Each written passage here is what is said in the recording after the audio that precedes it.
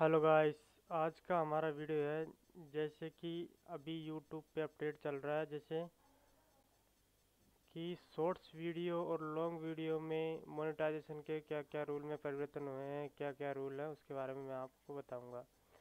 जैसे shorts video है, आपके चैनल पे आप शॉर्ट्स ही शॉर्ट्स डाल रहे हो तो शॉर्ट्स का ये रूल रहेगा मोनेटाइजेशन का कि नब्बे दिनों के अंदर आपके चैनल पे 10 मिलियन व्यू आने चाहिए।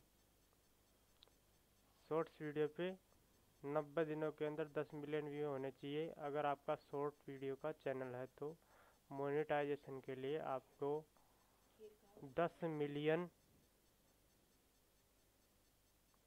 तो शॉर्ट्स का तो ये रूल रहेगा आपके मोनेटाइजेशन के लिए।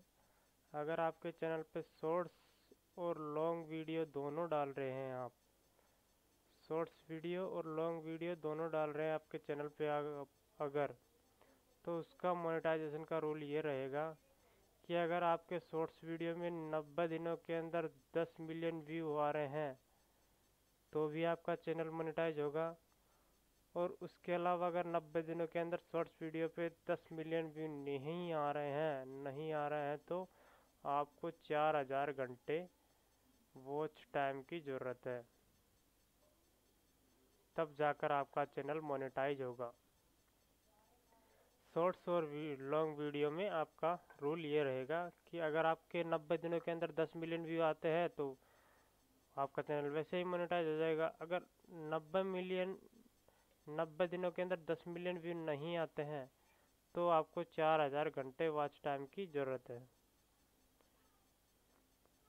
और शॉर्ट्स वीडियो में केवल शॉर्ट्स का चैनल है तो उसके अंदर आपका केवल 90 दिनों के अंदर 10 मिलियन व्यू की आवश्यकता है।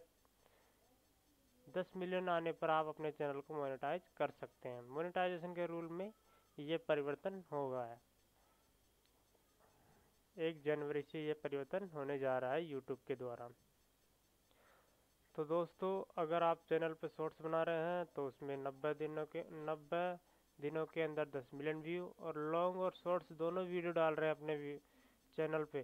तो या तो 90 दिनों के अंदर आपके शॉर्ट्स पे 90 10 मिलियन व्यू आ रहे हैं। तो आपको चार हज़ार घंटे वॉच टाइम की ज़रूरत नहीं है। और 90 दिनों के अंदर 10 मिलियन व्यू नहीं आ रहे हैं तो आपको चार हज़ार घंटे की वॉच घंटे की आवश्यकता है। तब जाकर आप अपना चैनल मोनेटाइज कर सकते हैं। इसके अलावा सब्सक्राइबर एक हज़ार होना आवश्यक है, इसमें कोई चेंजेस नहीं हुआ है। आपको एक हज़ार सब्सक्राइबर होने ही चाहिए, तब जाकर आपका चैनल मोनेटाइज होगा।